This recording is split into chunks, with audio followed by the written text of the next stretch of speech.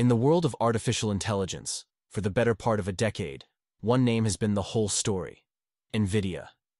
Their graphics processing units, or GPUs, became the engine of the entire AI revolution.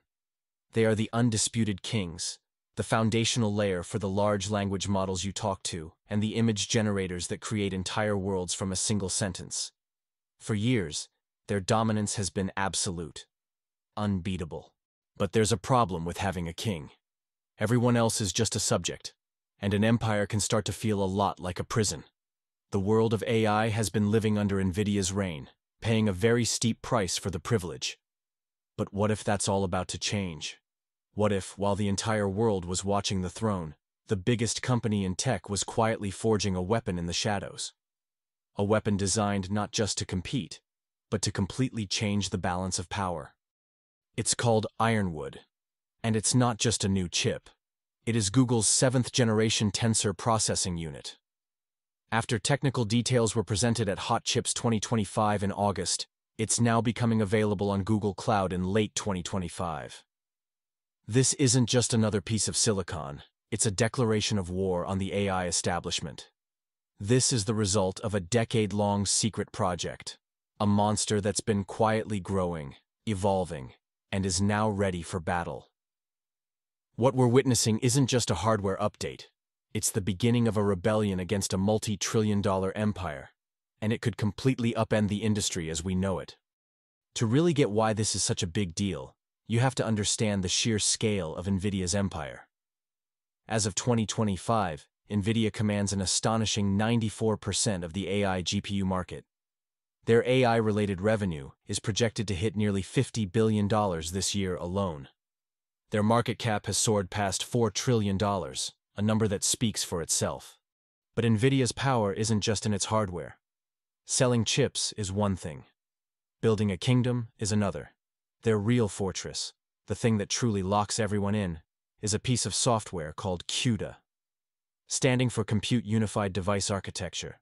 CUDA is a special language that lets developers speak directly to the thousands of tiny cores inside an NVIDIA GPU, unlocking their massive parallel processing power.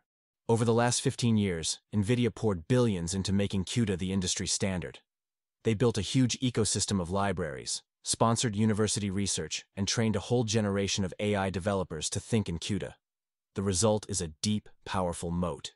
Even if a competitor builds a faster chip, an AI company can't just switch. Their entire codebase, their years of expertise, their whole development pipeline, it's all built on CUDA. Trying to leave is technically and financially crippling. This is the source of the infamous NVIDIA tax. It's not just the premium price you pay for their top-of-the-line GPUs. It's the cost of being locked into their ecosystem. With demand for AI compute going through the roof, NVIDIA has been able to name its price, and for a long time, the industry had no choice but to pay. There just wasn't a real alternative. That's the problem Google set out to solve over a decade ago. Long before the world was obsessed with generative AI, Google was facing its own computational crisis. Services like Search, YouTube, and Google Photos were using deep learning at a planetary scale and the cost of running them on commercial GPUs was becoming a huge problem. They realized that if their user base kept growing, they'd need to double their data centers, a path that just wasn't sustainable. So, they started a secret project. The goal, build their own custom chip, an application-specific integrated circuit, ASIC, designed to do one thing and one thing only, run their AI models with brutal efficiency. This was the birth of the Tensor Processing Unit, or TPU. The first few generations of TPUs were interesting, but the outside world mostly dismissed them as a niche tool for Google's internal needs. While NVIDIA's GPUs were like a powerful, all-purpose computer, TPUs were more like a specialized calculator. They were less flexible, but for the specific math that powers AI, tensor operations, they were incredibly fast and power efficient. Google just kept iterating, generation after generation, mostly in silence. While NVIDIA was soaking up the spotlight, Google was in the lab, patiently sharpening its weapon. They built entire systems around these chips, pioneering new ways to link thousands of them into a single, colossal supercomputer. They developed a whole new software stack with frameworks like JAX and the XLA compiler, designed to orchestrate these massive computing fleets. This wasn't just about building a chip. It was about building a whole new way to compute. And then came the seventh generation, the one they codenamed Ironwood. And with its arrival, the quiet revolution became a very loud rebellion. Now becoming available on Google Cloud in late 2025, Ironwood isn't just an incremental improvement, it's a massive leap forward. This is the moment Google's long-term strategy finally crashes into NVIDIA's market dominance. Let's break down why this chip is such a threat. First, the raw performance. For the first time, Google is standing toe-to-toe -to -toe with NVIDIA's best on a per-chip basis. While NVIDIA's highly coveted Blackwell B200 GPU clocks in at 4.5 petaflops of FP8 performance, Ironwood is right there in the same league. The raw horsepower advantage NVIDIA has held for years is now gone. The memory specs tell a similar story. Each Ironwood chip has 192 gigabytes of the latest HBM3E memory, with a bandwidth of around 7.4 terabytes per second. This is nearly identical to the 192 gigabytes and 8 terabytes per second on NVIDIA's B200. This huge amount of memory is critical for large language models, letting them hold more data directly on the chip and dramatically speeding up processing. But where Ironwood really pulls away is not in the individual chip, but in the system. The real magic of Google's strategy is scalability. While NVIDIA's flagship systems connect 72 GPUs together, Google's architecture is on another planet entirely. Google connects its Ironwood TPUs into what it calls a superpod. A single Ironwood superpod links an incredible 9,116 individual chips together. They're woven together by Google's custom Interchip Interconnect, or ICI, with a blistering 9.6 terabits per second of bandwidth per TPU. This creates a single machine with access to a shared memory pool of 1.77 petabytes. To put that in perspective, that's over 1,170,000 gigabytes of unified memory. This lets them run models of a size and complexity that are simply unimaginable on other systems. The total power of one Ironwood pod is 42.5 exaflops, an almost unbelievable number. This brings us to the most important metric, efficiency. Google claims Ironwood offers double the performance per watt of its predecessor and is nearly 30 times more efficient than the first-generation TPU. In an industry where electricity and cooling costs are becoming crippling, this is a game-changing advantage. And the industry is noticing. The most stunning validation of Ironwood's power comes from Anthropic, creators of the Claude AI model. In a landmark deal, Anthropic has made a massive commitment to using Google's TPUs, with an ambitious plan to access up to 1 million of them to train its future models. 1 million chips. Let that sink in. This is one of the largest hardware commitments in history, a clear signal that for those at the absolute frontier of AI, Google's hardware offers a serious edge in cost and performance. Popular app developer Lightricks has also chosen TPUs, showing this appeal is broadening. So, if Ironwood is so powerful, is NVIDIA finished? Not at all.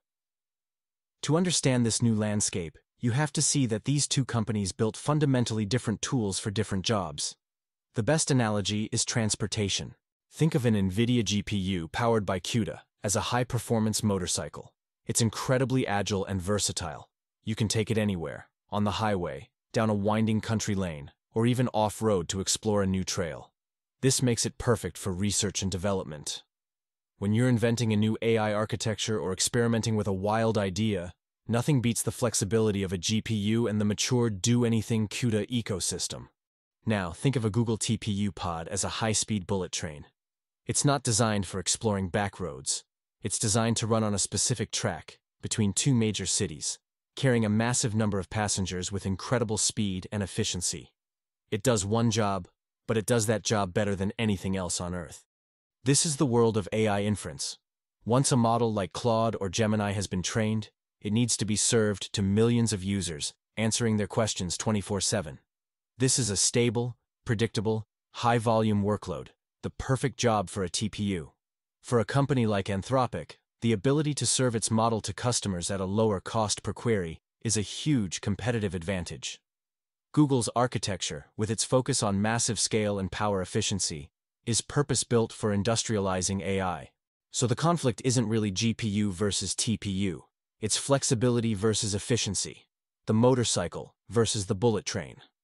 For a decade, the industry only had the motorcycle. Now, there's a bullet train.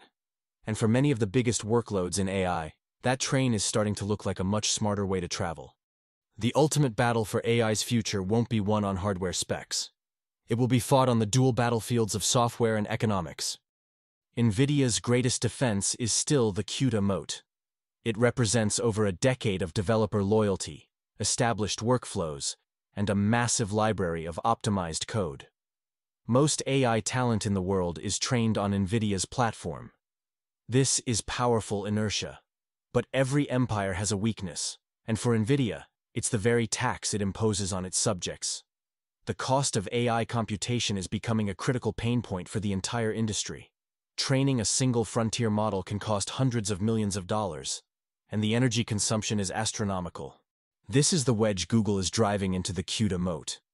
They are making a simple, powerful argument. The pain of learning a new software stack is less than the pain of paying the NVIDIA tax. Google's software ecosystem, primarily JAX and OpenXLA, is designed for this new world of massive distributed computing. JAX has a steeper learning curve than the popular PyTorch framework, but it's revered by those who use it for its ability to scale almost seamlessly from a single chip to thousands. Critically, the XLA compiler is hardware agnostic, offering a path away from being locked into one type of hardware. The biggest AI labs are already taking notice. Companies like Anthropic, DeepMind, and Midjourney are heavy users of JAX. Why? Because at their scale, the economic benefits are too big to ignore. A recent IDC report, highlighted by Google, found that customers on its AI hypercomputer platform saw an average three-year ROI of 353%, with 28% lower IT costs and 55% more efficient IT teams. When you can potentially cut your multi-million dollar training bill in half, you get very motivated to learn a new programming framework. The fight is now a strategic calculation for every AI company. Do you stick with the familiar comfort of NVIDIA's motorcycle, even as the price of fuel skyrockets? Or do you invest the effort to build a station for Google's bullet train, knowing it will deliver far better long-term economics? This shift is creating a fascinating dynamic. We're moving from a world where one company held all the cards to a world with real competition. This isn't just about faster chips. It's about a fundamentally different philosophy for building and deploying AI. The big question for the next five years is which approach will win out. Will developers break their powerful CUDA habit for better economics? Or will NVIDIA's vast empire hold strong? Let me know which side you think will win this war in the comments below. What we are witnessing is not the death of NVIDIA, but the end of its monopoly. For the first time in a decade, there is a credible, powerful, and economically viable alternative for building the future of AI. Google's Ironwood TPU is more than a secret weapon. It's a catalyst that has transformed the AI hardware market from a kingdom into a battlefield. The conflict between NVIDIA's flexible GPU ecosystem and Google's hyper-efficient TPU architecture isn't a simple story of one chip beating another.